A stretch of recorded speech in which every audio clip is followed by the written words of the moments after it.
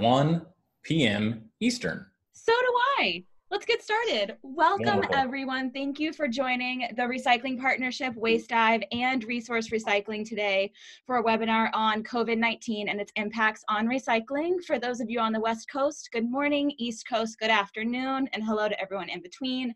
We are so excited to have 600 people and counting, and counting joining us um, this afternoon. And we're about to break a record for the Recycling Partnership webinar. So thank you so much for joining us for this ever important topic.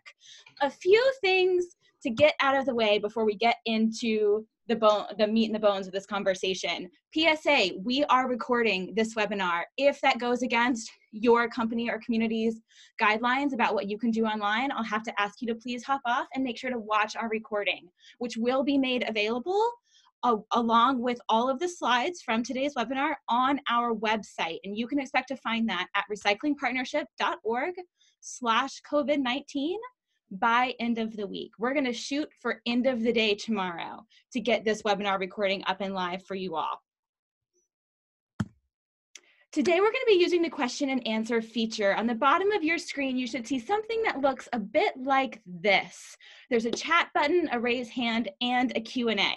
I ask that you not use the chat feature for our webinar today. Instead, we're going to be using the question and answer button. And this is how it works. You can type your question into the Q&A box and hit send. If you'd like your question to be anonymous, check that little box. We'll reply either by typing back to you in the question and answer window or answering the question live out loud. Cody, introduce us. Thank you, Trisha. Can you hear me all right? Bet. Well, thank you for that. And welcome, everyone. Um, thanks for being here with us. My name is Cody. I lead the community granting and engagement for the Recycling Partnership.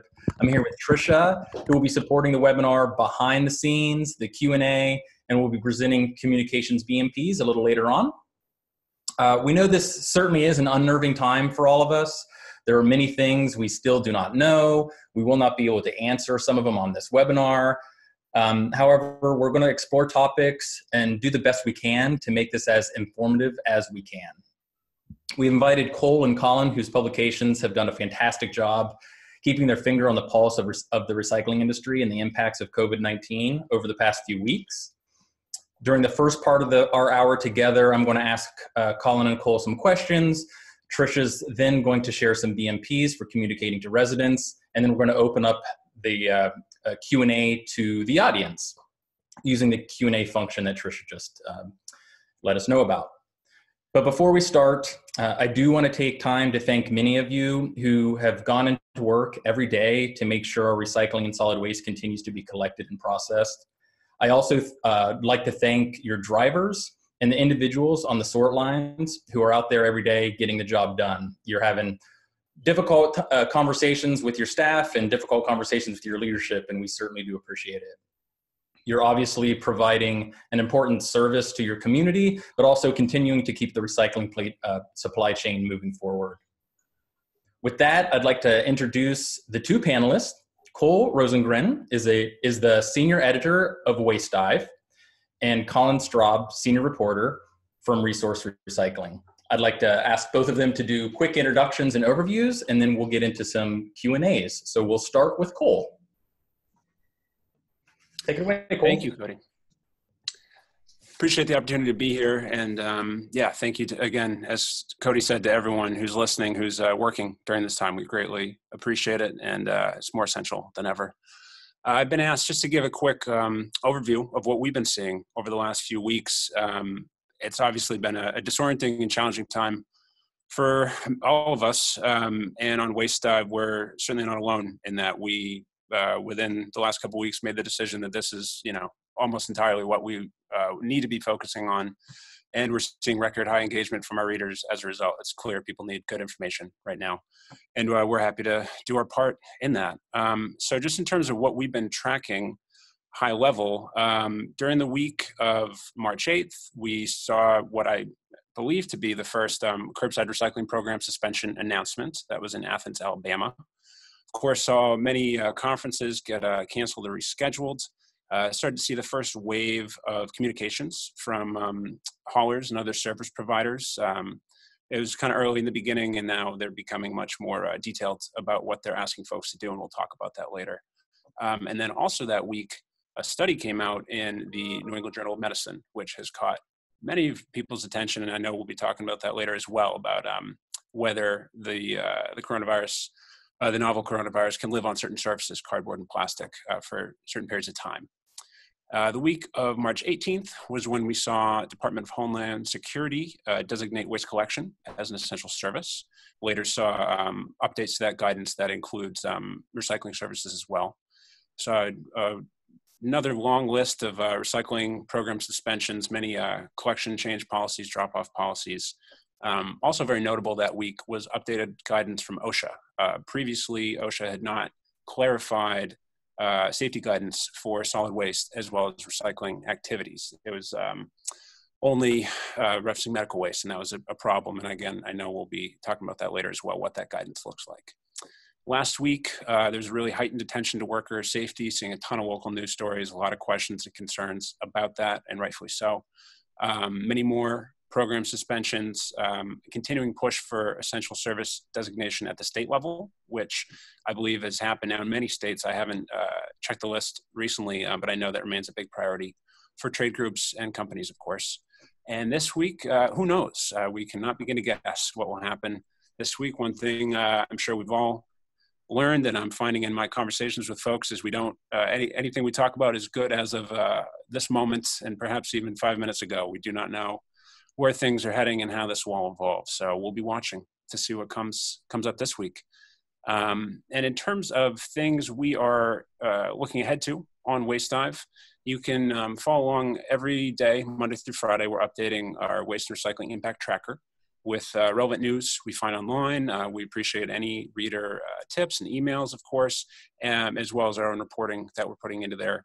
Things we'll be looking at next are um, safety for collection workers and MRF sorters. We touched on that in the you know earlier this month, but we have a new wave of um, you know reporting and questions coming up about that. So we'll be looking at what that means. Uh, continuity plans for service um, at various levels of the supply chain. Uh, you know, the companies obviously have and municipalities have these plans in place, but uh, have had to really update them and rethink how they can continue, uh, you know, doing this essential service when the workforce may become ill or folks need to stay home for a variety of reasons. Also, I'm very interested in tracking the volume shift from uh, commercial uh, over to residential, seeing a ton of um, news stories and getting reports about that from haulers as well. And then finally, um, we'll also be exploring uh, what this may mean for contractual relationships at the municipal level, whether uh, force majeure is getting invoked and uh, you know how folks are going to work together during this time. And so with that, I'll just leave it there. Please feel free to get in touch anytime. Uh, my email is here on the slide and also available on our website. And if you haven't already, um, please consider signing up for our free daily newsletter at wastedive.com. Thank you so much. I'll throw it over to Colin now. Yeah, thanks, Cole. Um, and I share your sentiment. I hope everyone is uh, staying safe, staying well, getting through this as best we can, uh, wherever you are. Um, like everyone, you know, we were reading about the coronavirus since the beginning of the year, uh, looking into the economic impact, particularly of the shutdown in China. And it seemed like another potential hurdle in the overseas markets, I would say early on. But obviously, in the last few weeks, the impact has extended far beyond that and is now kind of hitting every part of the world. Um, likely impacting everyone on this webinar in one way or another. Uh, so Cole gave a great timeline, you know, of when these changes started taking place in the states, uh, some of the some of the major events that we've seen. I would say I, would just like to comment on why we think these question changes matter. Uh, if you go to the next slide, you can see some of the uh, headlines we have we have run um, and some of the reaction that that we're seeing around the country. Um, I've gotten some feedback that, you know, as Cole mentioned, it's sort of every resource in reporting right now is going into covering how the coronavirus is impacting this industry. I've gotten some feedback that, you know, maybe we're making too much of it or making too big of a deal of it. It's temporary. It won't have a lasting impact. Uh, I would say every day that passes indicates more and more that this is a huge deal to the extent that it's impacting, you know, day-to-day life in a way that we really haven't seen in many years, uh, maybe generations. And you know, by proxy, it's impacting the recycling industry. uh, specific to recycling and kind of where we're at. Um, oh, are we getting? Someone can't hear me. Anyone getting that feedback? You you sound great. Okay, Keep, I will go the messages. Um, yeah, the, we have a lot of just as a quick um, interruption here, Colin. We have a lot of people, over a thousand people on the on the webinar, which is so fantastic. And so individual internet connections might go in and out, and um, so we'll just we'll keep going. And Colin, I'll let you know if I can't hear you. Everybody on this webinar in the audience is on mute, so um, just to let you know, we're getting a few questions like that. So go ahead, Colin, take it away. Gotcha. Uh, specific to recycling, this is, I would say, coming in the wake of what we've already been calling a crisis for two plus years. Um, you know, the loss of major markets for recyclables and subsequent shifts industry wide that we've seen. Uh, we are coming on the heels of contract renegotiations, as, as Cole touched on, and possibly looking at future ones, raising prices, arguably shifting the cost revenue model for recycling nationwide. Uh, lots of municipal programs have adjusted their lists of the materials they accept, have settled into sort of a new normal uh, recycling. You know, everyone knows it's been attacked in the public eye as not penciling out, not being viable, et cetera. And now, in the wake of those messages, we have another impact. People aren't going to see their recycling getting collected, or they're going to hear about shifts and and companies maybe you know suspending operations. So I, I would argue that if there was any doubt, I would say this does matter. Uh, the only point that is up in the air is the specific impacts and the extent of those impacts related to the collection suspensions and some of the market strife that we're going to see. Uh, so I was going to get into some of the impacts on our next slide here that that I sort of see uh, the possibility of coming about, but I think this is kind of what we're going to be discussing on the rest of the webinar. So Cody, if I, I could just end here and we can kind of get into this discussion, um, or I can kind of walk through some of these. We're going to get into these. Um, if you want to hit some high level stuff to make sure we, we touch on, we can definitely do that. Yeah. So, I mean, essentially the concerns, the, the supply disruptions, you know, if we suspend collection programs, if we scale things back, uh, that, you know, likely leads to less material coming into the stream. And if it gets, you know, on, on a big enough level, it could be a significant hit in terms of the supply of recyclables we have. Cost increases, uh, as Cole mentioned, uh, you know, we're seeing uh, haulers are having to adjust their services. They're seeing higher costs. We're seeing a shift in where material is coming in through the stream. So all those things are associated with uh, cost shifts and, and possible increases. Who's going to shoulder that burden? Uh, that remains to be seen. Uh, wider economic downturn. You know, a lot of analysts are are sort of forecasting we may be entering a recession. Kind of too early to say just yet, but things have definitely been in a uh, downturn on the stock market. Uh, you've seen sort of a lot of uh, pressure in the last few weeks. And how does that impact recycling? You know, recycling sort of follows the the economy. If people are buying less material and, and less uh, consumer goods, then possibly less material is coming into the stream, into the recycling stream. And then end market expansions. This is uh, just sort of something I'm wondering about. I don't have any any real data on this yet, but you know, we're I'm hearing about construction slowdowns, a lot of just economic activity grinding to a halt. I've, Cole and I have both been writing pretty significantly uh, in the last couple years about end market development.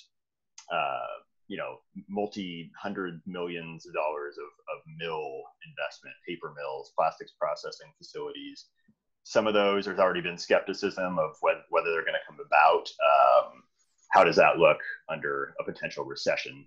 uh, I, I don't know. That's that's just a thought that I had, and don't want to be too cynical, but uh, you know, I think it, it bears a question. So um, that's it for me. This is we are also uh, you know, we have kind of a special section of our website dedicated to our coverage of this because it's going to be ongoing, and uh, the impacts are you know more and more every day. So uh, feel free to email me if you have any info, any questions. Uh, but I'm interested to, to get the kind of the wider discussion here. So thanks, Cody. Thanks, Colin. And while I'm asking questions, you are fading in and out with your sometimes. So I don't know if you have a cord or a head headset that might be able to. I to do. Uh, let's see. Yeah. So I'll, I'll just start with uh, Cole as Colin's working on that. Um, thank you both for that overview. And we are seeing schedule changes and um, temporary suspensions to, to curbside programs and drop off programs.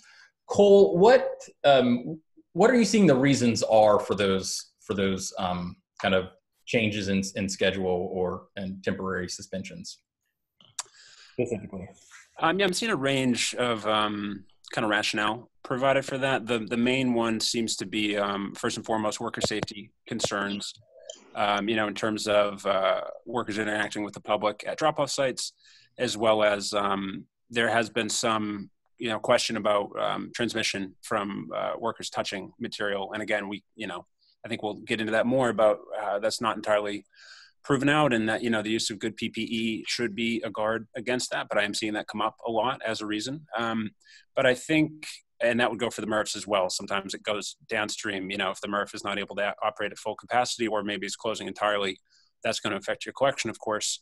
Um, but the other factor, and I think this is probably underlying all of these decisions in some way, it's just an operational consideration. Even if the workforce is not reduced currently, um, there's a concern that it could be in the future due to either you know the workers themselves getting sick, having to stay home to care for someone who's sick, or also childcare factors with um, schools and daycares being closed. So I think it's a combination of those two.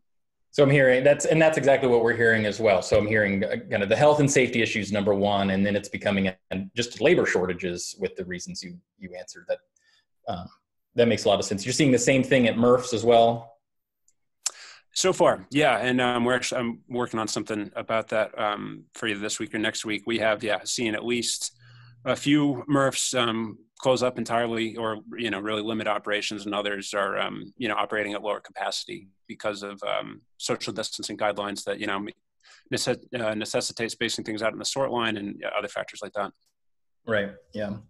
And so with the health and safety, um, Colin, are you are you back? Maybe we can hear you a little better. Yeah, yeah, and and hopefully the the microphone is working now. Great. It sounds great right now. So um, I'll let you know if we if we hear otherwise.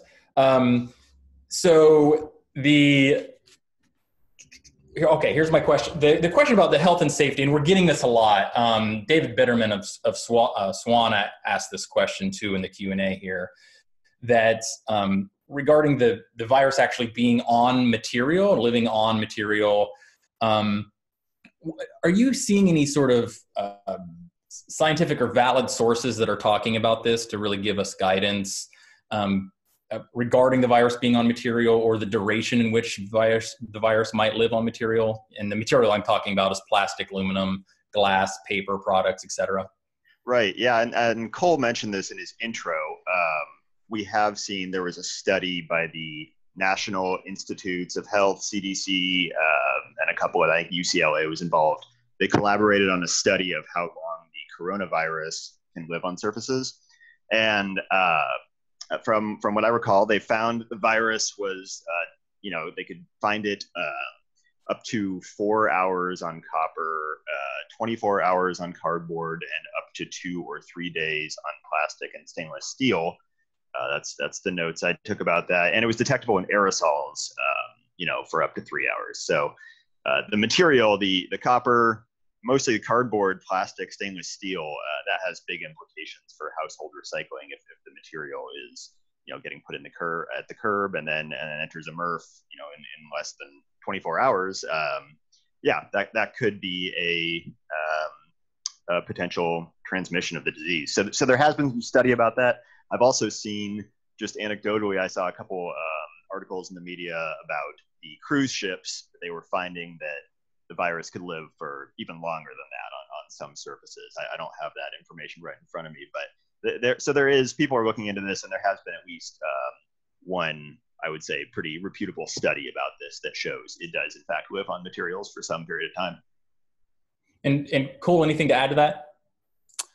Uh, yeah, and I will um, caveat that I haven't fully run down the study, but it was actually just flagged to me um, right before we got online by one of our contributors. Apparently, there's a new study out in the uh, Journal of Hospital Infection um, that has some uh, new data about the virus living on plastic, among other materials. So, maybe worth folks looking into. Um, the only other thing I'd add is um, we, at least in my mind, have not gotten a definitive, definitive answer that this is a concern yet um, from a the trade associations, um, SWANA, NWRA, ISRI. You know, they are in many cases speaking to, or rather pointing to, um, WHO, CDC, and OSHA guidelines. Um, and OSHA, and I've asked them this repeatedly, not getting a full or clear response, in my opinion, but they do not consider it uh, a factor in the guidance they've put out and updated about um, recycling handling.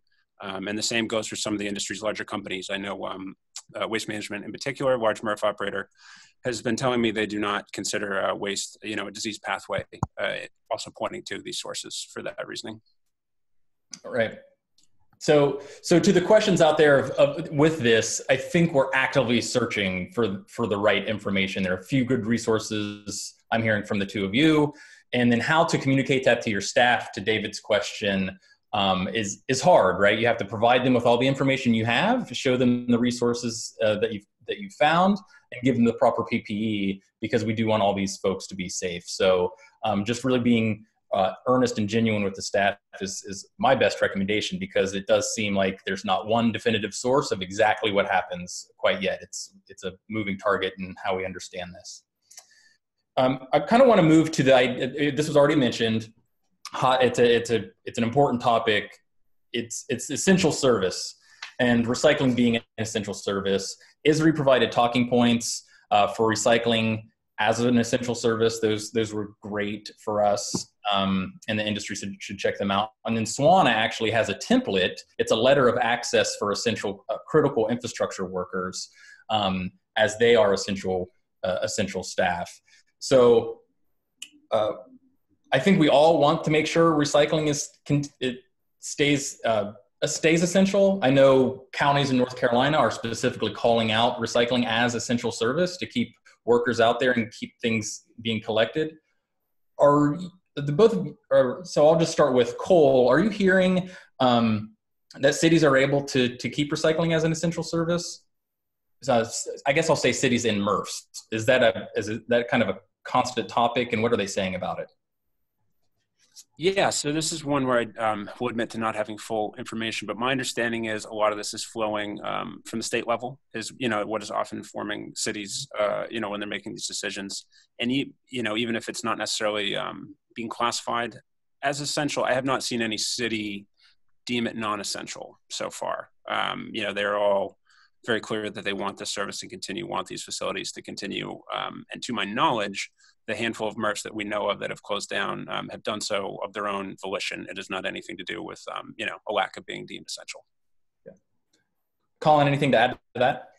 Yeah, I would say the designation has, I mean, in every state that I have read through their order, it's a lot of them are going off the uh, DHS, you know, the federal guidance, which isn't of course binding, but if the states adopt that into their executive order, then that's what they're going under. And and that federal guidance does include kind of general solid waste services as a whole, um, which many are interpreting to include recycling. Some states have, you know, specifically included recycling operations. I think you mentioned North Carolina.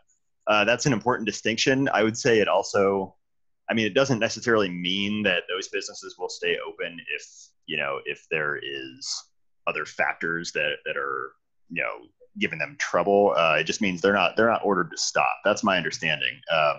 Because um, we're still seeing some you know smaller rural recycling programs that are really hurting uh, and and shutting down or or slowing down amid this, even in states where, as I said, most states are designating this as an essential service. So I would say it's not a guarantee that that things are going to move forward, but it doesn't. It means they're not ordered to to stop and and not come into work. And so, as you guys are tracking what's happening out there, how many are, are you aware of, of MRFs? Well, I, I, guess I'm aware of MRFs that are temporarily suspending service. How many out there are we aware of? Um, Colin, I'll start with you. You know? Um, I mean, I've seen you know reports here and there. I would say I, I would hesitate to put a specific number on it because things are, are changing so fast. Uh, I think no matter what I say, it would probably be wrong. Um, so, so I don't have a specific number of MRFs or uh, community suspensions. All I have is kind of the growing list that I'm keeping of of what I've what I've seen out there. Um, so I wouldn't want to give a definitive answer there. Uh, Cole, what are you seeing? I know that you're you're tracking it closely. Also, do you, I know it's definitely going to change uh, after today because it's a moving target. But any any sense yeah, um, so same thing. I don't have a hard number, but the ones I am aware of um, that have, you know, uh, really limited operations or perhaps shut down entirely. Uh, there's a MRF in York County, South Carolina, Kent County, Michigan, And then also uh, Athens Services, a California company, um, has seems to have largely um, stopped hand sorting at some of their MRFs. Uh, I'm still trying to get information on whether that means operations are continuing, you know, in partial form, or how many MRFs even that includes. Um, and then beyond that, I am aware of some MRFs that just are doing less volume in part because a maybe there's less volume coming in, but also because you know they're not able to process as much. Um, so yeah, I'd say it's a small but likely to grow number from there. Mm-hmm. Any schedule? So like, are you hearing any schedule changes for collection or or operating hours for for MRFs and like how they might be talking about schedule changes? Um, on the collection side, we have seen a few um, city programs, uh, sometimes in partnership with you know private private companies that are doing collection earlier sometimes um, as a, a, way to you know limit interaction with the public or maybe space out shifts so that the uh, the workers are not congregating as much at the garage. Um, I haven't heard about that happening as much on the MRF side, but I would not be surprised if it has. Um, and then I think we're going to touch on this more later, but we have seen you know uh, at this point dozens of um, curbside recycling suspensions as well. And and of the the suspensions of curbside last at the end of last week we only saw about 20 is that it's probably a little more now the curbside temporary suspensions uh, to my knowledge it's yeah more, more in the 30 range now but again i think that number um, is honestly probably uh, undercounted uh, we hope it's not i don't know but um, i get the sense that there's a fair amount of communities that either have already started or are considering um, you know continuing collection and maybe not even necessarily notifying the residents of a change, but that the material won't always be getting, getting processed on a day-to-day basis, just depending on their kind of abilities on the back end. So I think there's maybe some that we're just not aware of that that's happening. Right. That makes that makes sense to me. And and regarding the schedule changes, we've been working with a lot of our community partners and, and uh, cities and states out there. And if you're if it's a real labor shortage, what is the possibility of getting out there and uh, temporarily changing, or uh, how you know the frequency in which you collect drop offs? Um, there's a lot of different varieties of scheduling to change up before just temporary suspending. So we're always exploring those ideas. If people have uh, best best in class ways to kind of quickly change up a schedule, let us know on the side, and we can start putting that information out. Um, so uh, just switching gears from the single family type stuff, are we are you seeing any uh, impact to multifamily and commercial collections? Cole, I'll start with you. Uh, yeah, I don't actually have any good information on multi- multifamily, so I'd be you know glad to hear if Colin has anything or if any of the the listeners have anything on the commercial side. Um, limited information, I'd say, but from talking to um, folks over the past week or so, for a story um, we put out today, actually about effects um, on commercial waste and recycling, we are definitely hearing um, that even if service continues, you know, volumes are greatly reduced uh, because so many businesses are closed in certain cities, and in some cases, um, you know, depends on what state or local regulations require in terms of if recycling has to happen or if it's rather, you know, a voluntary action. But if volumes are down so much, routes are being reduced, uh, routing is being changed. And I know um, New York City, for example, has come up as an area where, you know, volumes are down dramatically. Um, and the sense, again, this is not, you know, confirmed, but it seems like uh, local enforcement is not the top priority, let's say, for the city right now to ensure that, you know, recycling is happening there they're being um, flexible, recognizing that not everyone's going to have the ability or the time to do this right now. Um, so I think, yeah, there's probably a fair. There's some still happening. Obviously, good clean cardboard, you know, coming out of grocery stores and other other areas. But I think commercial recycling is pretty quiet in certain cities right now. And and Colin, any anything to add there? You might be on mute.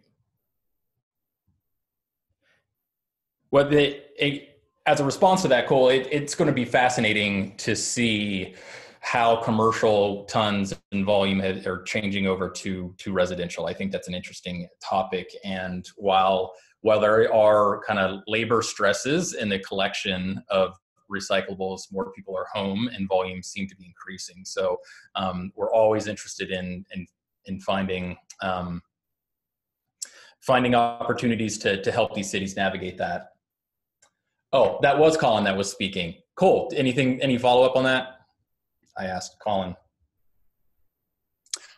Sorry, I think we got our wires crossed. That was me speaking, actually. This is Cole. it's good to have three people Cody, Colin, and Cole, all CEOs, trying to navigate this. Okay, I'm going to move on to another question. Um, so, this is uh, this is a really hard question. I, I, I'm I'm assuming we don't know the answers, but for the programs that have suspended temporarily, do you have are there any sense of when they think they can come back to a regular service? It just seems like it's so varied out there. Either of you, um, Colin, I'll start with you. Calling you. We may have lost Colin actually. Colin, are you on mute? Cole. How about you? Sure. Um, so as far as I've seen, um, I don't know off the top of my head. I have seen a few dates floated, you know, in certain cities, um, but my sense is those dates are probably not hard and fast, as they're not with a lot of things, you know, in terms of um, how long business closures will last. So for the most part, I think folks are being pretty um, intentionally vague and probably smartly so, you know, with when these things will return. Yeah. So it right now, the majority of residential programs are still running as well as MRFs. What adjustments, you mentioned some adjustments already, but like specifically to kind of hone in on that a little bit, what adjustments are you seeing in terms of keeping those MRFs open and collection going? Cool. Yeah, so a big one I've heard is, um, you know, step one is ensuring uh, good social distancing, uh, you know, protocol on the sort lines. Um, you know, these are obviously uh, work work environments where folks can be pretty close together. Sometimes, you know, sometimes even shoulder to shoulder, depending on the configuration. So, making sure everyone's six feet apart, um, which may mean you know uh, slowing down volumes as well, because you're maybe not able to um, do as much hand sorting for certain streams. Uh, and then basic stuff that we're hearing, which would apply to really any workplace, is um, trying to stagger uh, breaks, you know, trips to the bathroom, um, punch-in procedures, you know, so there's really no um, kind of a no touch situation. There's a lot of different ways to do that. Um, one uh, facility I spoke to recently said they're actually um, kind of uh, trying to hold material, so to speak, when it comes in, um, partially just to give themselves a little more uh, time to you know process things, and also um, to alleviate any worker concerns. So if a load comes in, maybe it sits uh, in the corner of the floor for a day, perhaps even two, if you know it's deemed safe to do so. So if there's any concerns about the virus living on there, that maybe those are um, reduced. And I think day to day, again, you know, outside of states where there are guidelines for uh, you know waistbands and things, um, I think day to day what what's being sorted for may just have to change depending on what uh, how much labor is available. And obviously, uh, you know, uh, market demand as well. You know, one day maybe you hand sort the mixed plastics. One day maybe uh, that's not your priority, is what I'm hearing. Yeah. So we, I think we have uh, Cole back. Are you there? Uh, Colin, yeah, sorry about that. The joys of uh, working at home, internet completely died. So uh, my apologies. No problem. Glad you're glad you're here. Um, I'm going to get back into the question. One question I have for for for Cole and then uh, Colin for you to follow up on is we know that uh, the as we're talking about already that the human health and safety is number one, but there are the labor shortages like we're talking about. Are haulers and MRFs doing anything to incentivize labor to continue working, or support the labor that may need to, t- to spend time away from work to support their families. Are uh, any any MRFs or haulers do anything special that you would want to share with this um, on this webinar? It's a great question and one I would love to know more about, honestly. So if there's any folks listening um, who want to share what they're doing, uh, I would be glad to hear that. I don't know of a ton. I've seen a few uh, anecdotal examples about um, hourly pay being temporarily increased uh, in certain markets, but nothing definitive, you know, to be able to share uh, I have definitely seen a lot of talk about um, revisiting paid leave policies. Um, you know, differs a lot, of course, depending on if you're um, in the private sector, the public sector, um, whether you're a union member. There's a lot of considerations there. Um, but I, we have seen uh, both the two largest MRF operators uh, on the private side, of course, Waste Management and Republic, have um, you know put out new guidance about their leave policies, and I believe adjusted their policies to try to be more accommodating and my sense is um, city employees are working through some of those questions right now as well. Yeah. Colin, any follow up? No, I would agree. Um, I haven't. That's another issue we haven't really delved into that side of it uh, as much. I would be interested to learn more though. Great. So, kind of moving on, Cole, I have an, another question for you. Waste Dive recently ran a story about uh, COVID 19 as it relates to deposit states. Talk to us about the, the impact of COVID 19 um, on the deposit system. Yeah, so what we uh, found is that in um, eight of the 10 states with um, bottle bills, uh, there have been changes um, you know new guidance uh, around enforcement. It ranges, and I would um, point folks to uh, Container Recycling Institute. Actually, has done a great job of rounding this up on their website, uh, and you can find that I believe right on their homepage about you know links to all the various orders. But generally, it seems to be a mix of um, suspending requirements and enforcement um, for retailers specifically. You know, as we know, there's a lot of grocery stores um, that often have uh, reverse, reverse vending machines or other redemption centers. And given the strain on grocery stores right now, um, that's being relaxed. Uh, and in some states, there's also um, some drop-off um, centers closing, particularly in California. We've seen that, and I think Colin can speak to that. They've done some good reporting on that too. Um, but yeah, so far, eight of the ten have come out to essentially say this is, you know, they'll ease up requirements on that. As as of now, um, the two that we don't have any information from yet are California and Hawaii, to my knowledge. We're we're um, really starting to dig in and analyzing the the impact on supply due to the deposit states, um, as well as the curbside, the temporary curbside suspensions that may be out there. Um, we might not have time to dig into that uh, on this. We're having a ton of questions coming in, which is exciting, and um, so I'll kind of hold on the supply questions for now, but would like to ask you, Colin.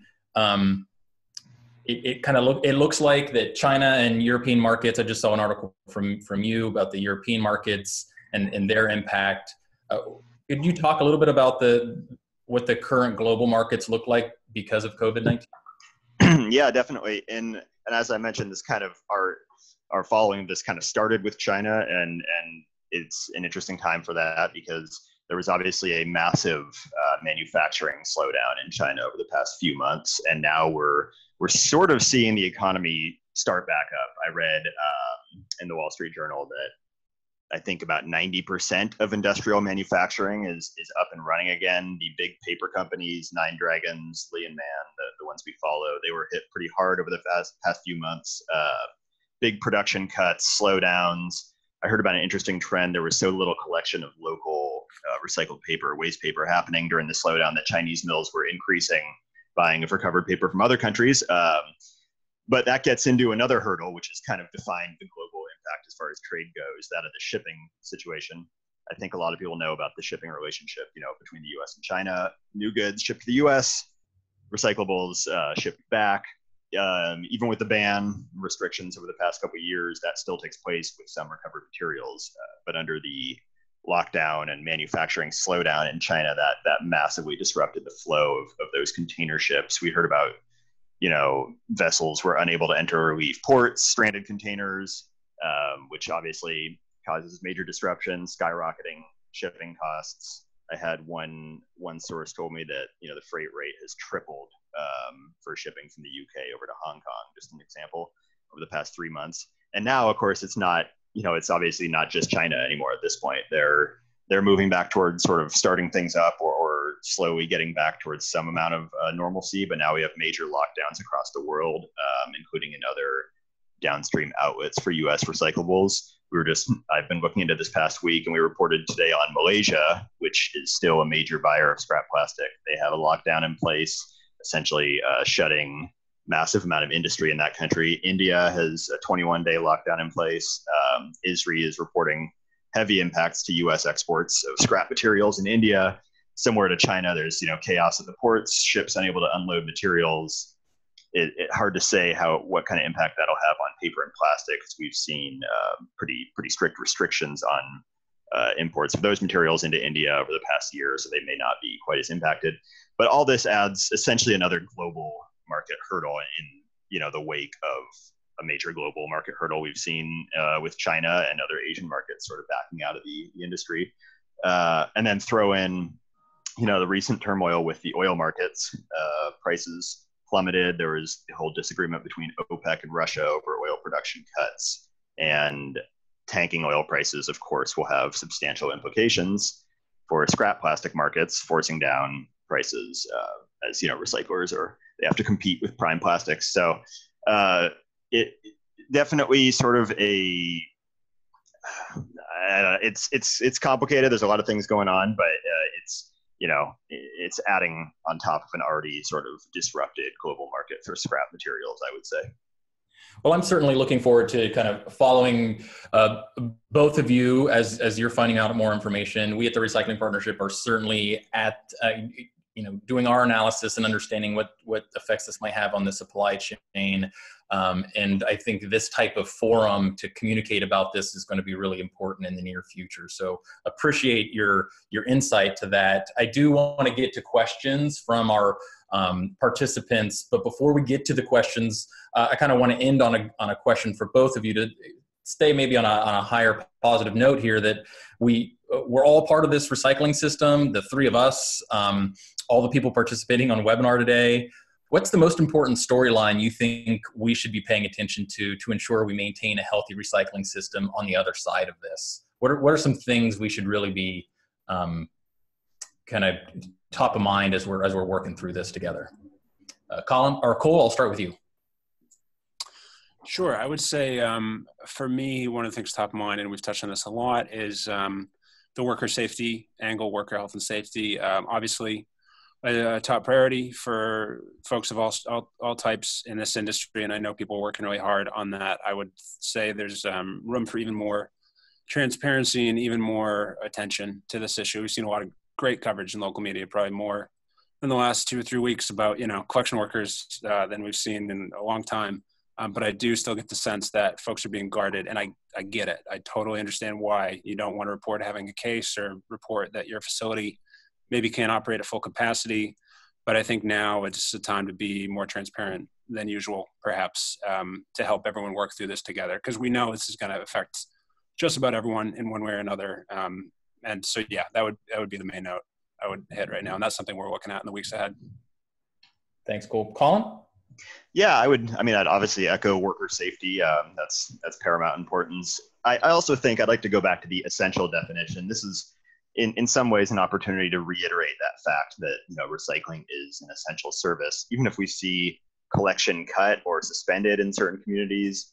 Uh, I, I do think first that's that's temporary, um, but also that will illustrate the value of recycling when people stop seeing that picked up you know that that reminds them oh yeah this is kind of an important part of uh, everyday life that maybe they don't think about that much but when it stops then it's all the more noticeable um, and I, I, think just one little anecdote that i read about recently in all the communities that we've seen scaling back or suspending service uh, there was at least one that i saw where i mean literally the next day they reversed it based on you know, opinion from the public. It was sort of a thing of, of reallocating resources into other departments. And there was so much sort of outcry about what stopping recycling that, you know, they, they found a way to, to keep it going. So I don't know that that's possible everywhere, but, but it's, it's an interesting message.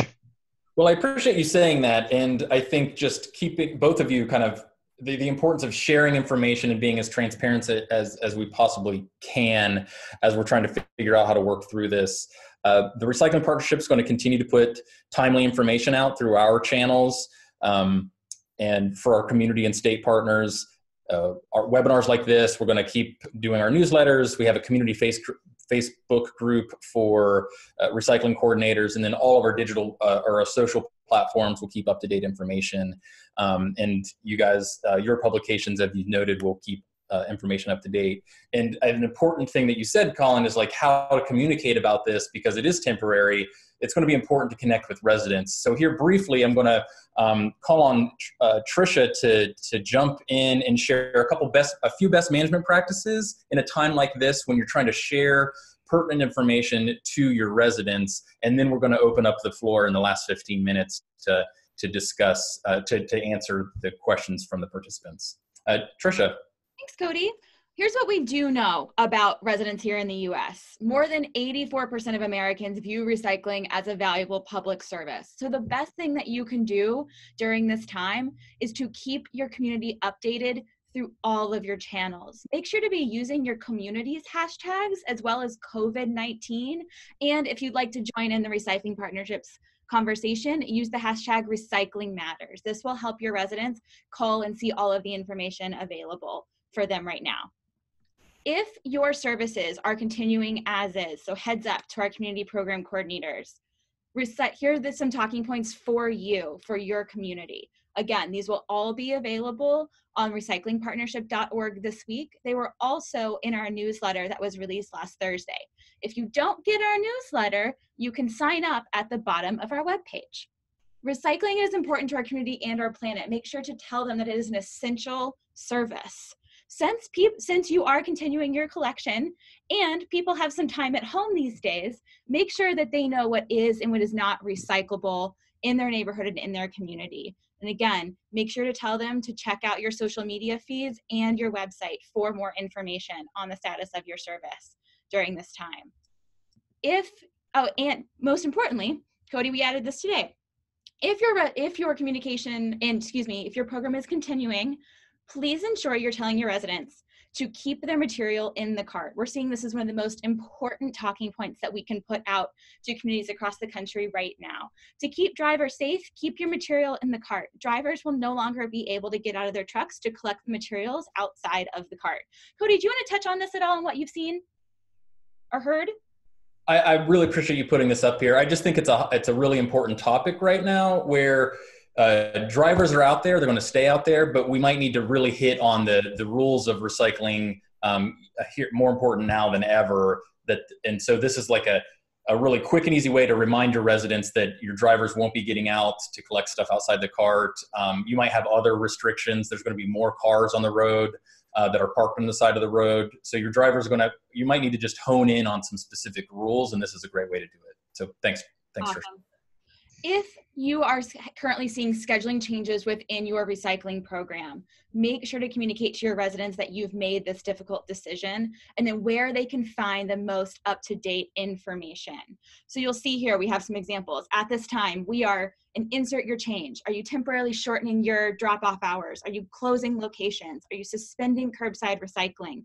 Let them know exactly what's happening and and that you'll keep them updated. You know, if if there's scheduling changes happening, you probably don't have a current date in mind for when they're going to reopen. No one can say definitively right now that things will be back to normal on April 15th. But you can say we're going to do our absolute best to keep to get this back up and running as soon as possible when it's safe for all involved make sure to let them know that the change is temporary and reaffirm that all of the accepted materials have not changed in your community. And once again, provide a website that hosts the information and then update that site. The best thing you can do is keep all of your platforms updated with the most current information for your community. Now it's your turn to ask us some questions, and you've been doing so. So we're going to get to as many as we can. Cody, I have 87 open questions for us in our Q&A. But one trend that I'm seeing the most so far that I'd like to throw to you three is from the resident perspective, or the resident side, what are we seeing in terms of residents recycling right now? In this current climate, are we seeing residents recycling more, recycling less? What do we think it's going to do the volumes, or do we know? I've definitely, so this is Cody, and I've definitely been seeing the stories about volumes increasing. It makes a lot of sense, right? People are staying at home, their garbage and recycling are increasing. Um, Cole, I actually saw you run a story that, that hit on this and shared some links to stories here in North Carolina, Durham, North Carolina specifically. Do you have any comments on that? Yeah, um, anecdotally, we are definitely seeing this um, reports of uh, major volume increases on the residential side in multiple cities um, i have not had a chance to dig into you know whether that's uh, msw or recycling in particular but i think it's fair to assume right with folks you know home from work uh, in many cases uh, there's going to be more more material in the blue bins. Um, and also seeing a lot of uh, spring cleaning activity which again is uh, usually not stuff that should go in your blue bins unless it's uh, you know fits your guidelines but um, we're seeing a major uptick in kind of home cleanout projects and a lot of volume almost too much volume in some cases for cities to be dealing with and I'm seeing um, some questions that are coming through about bulky or yard waste collection. Um, wait, I'll just do a quick pause. For everybody that's asking questions, we're doing that in the Q&A sec- uh, part at the bottom of your screen. We're not answering the questions in the chat function if you came in late to the webinar. Um, but getting back to the question about the spring cleaning, I, we are talking to communities that are have contingency plans for schedule changes. So they might start with like suspending bulky collection, then yard waste before they have to kind of minimize their full suite of services to a community. So I think cities are really being smart about how to approach this, and it's interesting as volumes um, definitely interesting as volumes increase. Trisha, is there uh, more kind of trending topics we can hit on? Yes, Cody. A great question came in from Brian Pugh. He said, What advice can you give to communities who have furloughed their recycling programs as they begin to think about bringing those programs back online after this is all over? Uh, I'll kick it off and say that um, we're always having to be in front of residents that and, and trying to keep that trust up right and keeping the trust in the system. And so when you're ramping these programs back up the best thing to do is to show the end game show that this material is a feedstock and it's getting made into new things. It's important to supply and and people like to see that transcreation story that transformation story of something being made into a new thing that kind of builds up that trust um, and know you're going to have to have a budget behind it. You just can't do a few posts on social media that you're starting back up. You're really going to have to try to back it up and, and, and get into all the media markets for people to truly understand how to use your program again. Um, Cole or Colin, any, any comments to that? Um, not not specifically on, on, my part. I think um, yeah, that's I mean that's going to be a, a, key part of this. We don't know how long these suspensions are going to go on, but of course, once they're over, uh, sort of getting things back going uh, is going to be you know a, a, big consideration. So I, I think that's definitely a worthy of consideration and and good question. But um, I'm not sure what I would advise specifically. Mm. And uh, I did want to touch on. We talked about labor um, and incentives for labor, and one thing that I really from Republic uh, somebody from Republic mentioned that they uh, they're giving two additional PTO, uh, two additional weeks of PTO to their employees because of COVID nineteen. So some some good stuff is happening out there, which is uh, which we appreciate. Trisha, any any more to hit on? We had another great question come in about looking ahead from this this pandemic here. We have Kevin Lugo. He asked about um, about um, a contract's coming up you know his contract is ending in a few months. And what can what advice do we have about moving forward with contracts and recommendations for building a new one with a MRF uh, cole do you cole or colin you guys have any comments? Um, i mean I, I would say that yeah contracting i think cole mentioned at the beginning contracting is kind of a key component here um, I would say industries across the country are facing higher costs, and, and haulers, MRFs are no different beyond labor shortages. You know, haulers are seeing uh, uh, shifts in the stream, which will impact revenue. Um, more people staying home means more trash. I, I know that we were uh, looking into some of the resources Republic has, has put out there, and you know they've made some shifts in service and certainly seeing higher costs. So is waste management. Uh, so far, those increases have not translated into you know asking municipalities for higher rates. It's obviously been very quickly over the past couple weeks, so it's possible that could happen, and this will play into it. Um, I know that Waste Management was quoted in an interview saying they are specifically this is not going to you know cause them to raise rates specific to coronavirus, but as far as contracting in the future, how how this kind of plays into that, I mean, it's it seems likely that this is going to sort of follow the, same trend we saw with China, where that was basically built that the impact from the unprecedented shift in the China market was built into contracts and, and had a big impact. So, however long this goes on, I think dictates um, the amount it plays into contracting in the future.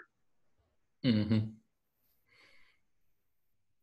Trisha, we got any more?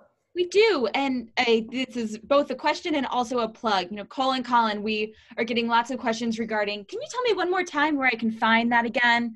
Uh, Cole, will you start and tell us where our participants can find all of the information that you shared today on your website? Sure. Um, the easiest way to do it is just go to wastedive.com and you'll find uh, all of our coronavirus coverage front and center there, and you can sign up for our daily newsletter. And also, we do a weekly uh, recycling focused newsletter every Wednesday afternoon, and you can sign up for that as well. Thank you. Colin, where can we find all the information you shared with us today?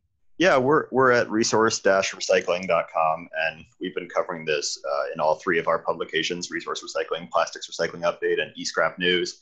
And I would say it's, uh, it's impacting all three of those industries, municipal, plastics, and electronics in, in various kind of different ways. So we've been um, looking into all that, and we do three newsletters a week uh, as well as print magazines. So you can subscribe on our website. Fantastic.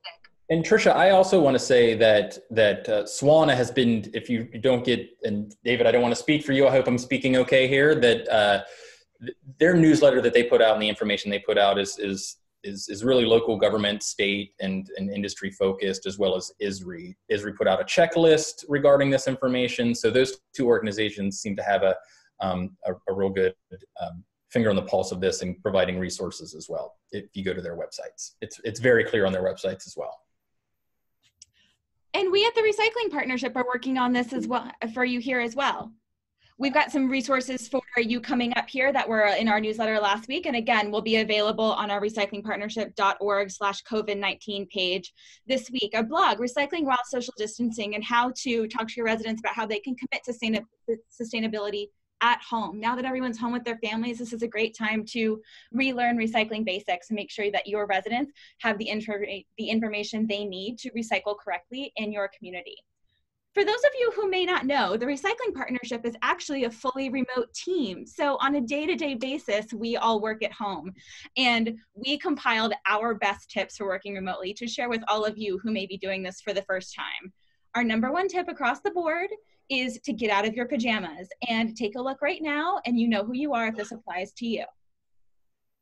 You can check those out on our website. And if you have questions or would like to continue this conversation, please feel free to email webinars at recyclingpartnership.org. Spoiler alert, it's me on the other end of the line, and I'll make sure to connect you with whomever it is that you'd like to speak with regarding what's happening in your community. Cody? Thank you, Trisha. I, we have an overwhelming amount of questions here, and we tried to pull out the trends. Um, there are a lot of health questions, health specific, and I do want to just maybe before we leave, if you have questions about what to do with material um, uh, in a home that might have um, might have the virus in the home, or questions about how long that material or virus might be on material, or the safety of workers specifically around the virus. Um, we recommend you really talk to your local health officials about those questions specifically. Um, we're definitely recyclers on our side. We're going to provide you uh, objective, clear information as the best we can. I know Resource uh, Recycling and Waste Dive are doing the same, but don't be afraid to talk to your, your local health officials too if you have those types of questions. A lot of those came through. And then I think, uh, Trisha, we'll spend some time today and tomorrow uh, pulling together these questions. And when we send out the, the webinar, uh, we'll, we'll try to have some basic uh, FAQs or, or Q&A type things within that recording for people to maybe, maybe we'll be able to hit on some. Is that fair, Trisha? Yes. Um, well, this is wonderful. Uh, are there, uh, Cole or Colin, you have any, well, let's just start with both of you. Any closing remarks for either of you? Cole, start with you. Sure. Um, just want to say thank you again, for, you know, for the chance to speak with everyone today. Um, already learned some stuff from you know the questions coming in and uh, some of the information in the chat chat box here. Um, and yeah, I think uh, definitely good advice to check with your local health officials. And again, to reiterate, as far as we know now, you know the guidance is that this is not an imminent uh, risk for workers any more so than you know you're at risk um, going about your, your daily life is what, what we're hearing. Um, that said, things are changing quickly and we are seeing different guidance in other countries. So I think it's very important to stay, stay, you know, closely attuned to this uh, for sure. And Colin. Yeah. Um, also, thanks for having me on. I, I hope everyone is uh, stays doing well um, out there in the audience. I I think one important thing that I would uh, reiterate is that the impacts are still coming out, and you know we're we're looking at a, a very different situation even two weeks from now. I we didn't get to talk about it much, but I think the supply issue is going to be a, a key factor here. There's a lag in time between collection cuts and, and when you start to see that supply uh, problems in, in the downstream processors. I, I, haven't heard from reclaimers or processors that they're having supply issues yet, but in Europe, they, it was about two weeks out. So this week, we're seeing collection cuts begin in a lot of cities, and I, I think that's going to be uh, make for a very different landscape in two weeks from now. I'd like to thank both of you. Uh, I'd like to thank both of your publications. Uh, Trisha, man, it is a pleasure hanging with you. And again, want to just thank the the people on this call, uh, your drivers, the people answering phones. It's it's a kind of a a wild time out there, and I, am just always pleased when there's stuff like this that pops up. Uh, people come and, and, support each other and collaborate. Um, and I'm always appreciative of that. So thank you for joining this webinar. We'll have resources. Uh, this is recorded. Uh, just look for stuff later this week. Trisha, we out? We out. Take care. Thank you.